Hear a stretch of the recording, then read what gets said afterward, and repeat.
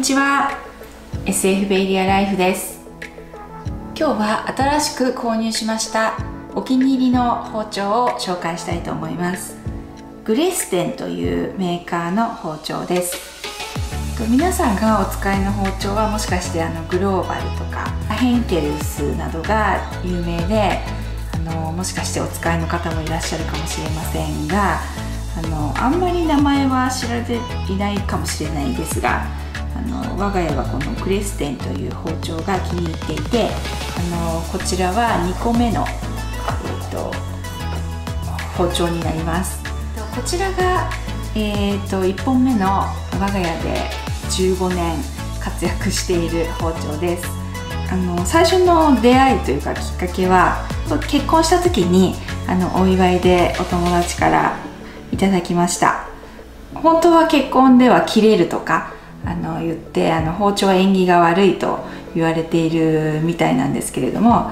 すごい包丁が欲しかったのであのお願いリクエストしてこちらをあのいただきました。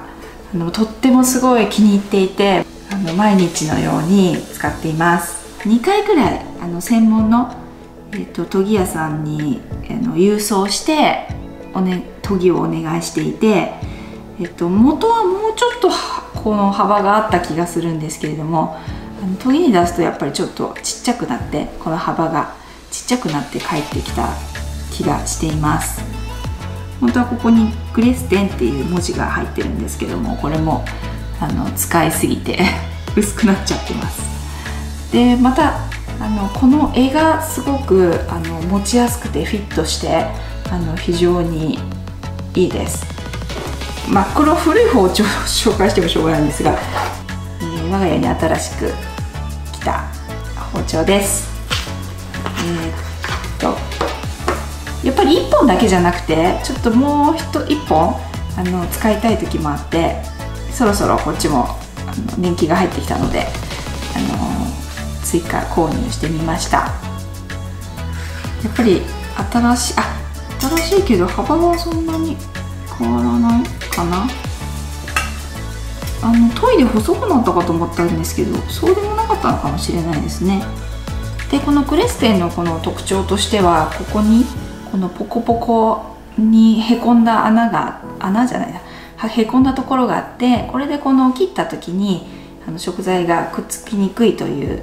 えー、特徴があります。まあ、でも実際はきゅうりなんかはそんなに綺麗にはあの剥がれていかないんですけれどもあのでもやっぱり普通の包丁よりはあのこう食材が剥がれていきやすいと思います。ここの取っ手のところも、えっと、昔のタイプとあの最近のこのこちらのタイプでは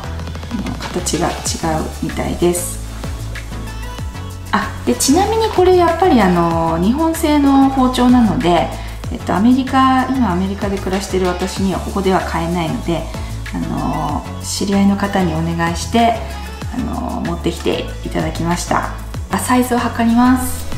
全長が3 1センチ。この刃の部分は1 9センチ。えっと一番厚みのある幅のところが4 5センチ。でこの持つところは11センチ。ほどです。でもとっても気に入っている理由はあのー、ここのところがやっぱり木木のこう持ち手じゃないのでこのつなぎ決めがつるっとしてるので、あのー、すごく清潔で気持ちがいいということです。であのこっちはその長年使ってる方なんですがこちらはもうあの食洗機に毎日のように、えー、ガンガン入れてるんですけれどもえっと、今のところ特に問題は起きません。でちょっと主人が最近あの研ぎをするようになってあの、えっと、こう研ぎ石で研いでくれてるので切れ味もあのいいいいです。ただやっぱりこれあの最初にもう本当に怖いくらいよく切れてもう肌にちょっと触れるくらい触れるだけでももう手が切れてしまいそうなほどすごい切れたのでその時の感動がものすごいかったです。なので今回買ったこちらももうすごく切れ味があのいいと思うのでちょっと後ほどいろんな食材でこれこちらで切って試してみたいと思います。えっとすいません。えっと包丁を使う前にちょっと重さを測ってみたいと思います。えー、176g です。ちょっと使ってきたこちらの包丁も何グラムか見てみたいと思います。172g なのでやっぱりちょっと研いだりして少し減ってきてる分があるのかもしれないです。いやもともとそういうさ重さだったのかもしれないですけど。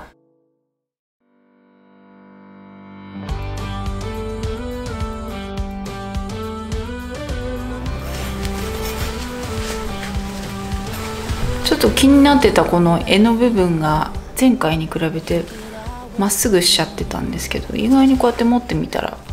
持ちやすいです。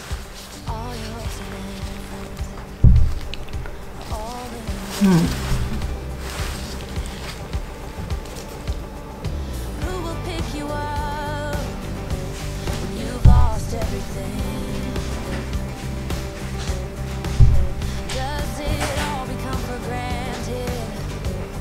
ではまずネギから。ではネギ切っていきたいと思います。おおやっぱりスッと切れますね。すごい。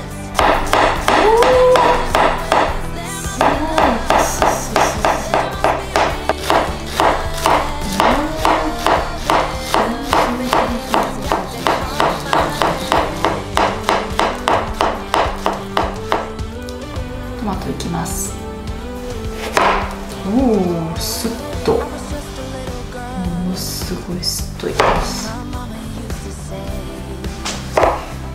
ものすごい軽い。ものすごい軽いわ。スッといく。すごいねやっぱ新しい包丁は。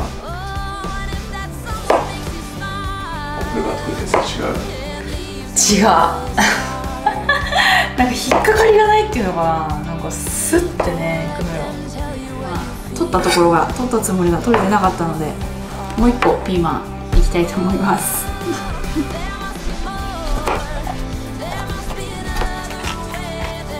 ああそうね。本当に滑らないからすごい切りやすい。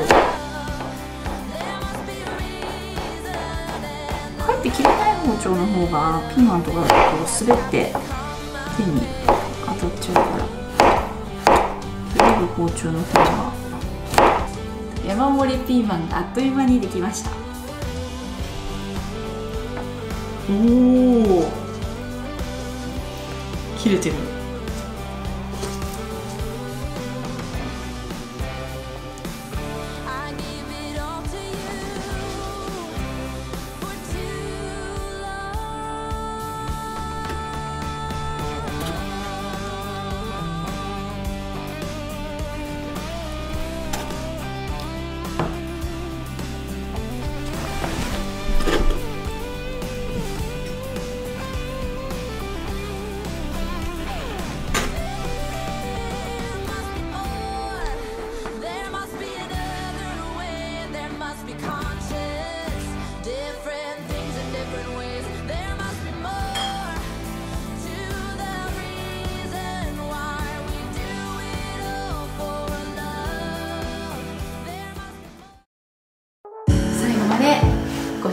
きありがとうございました。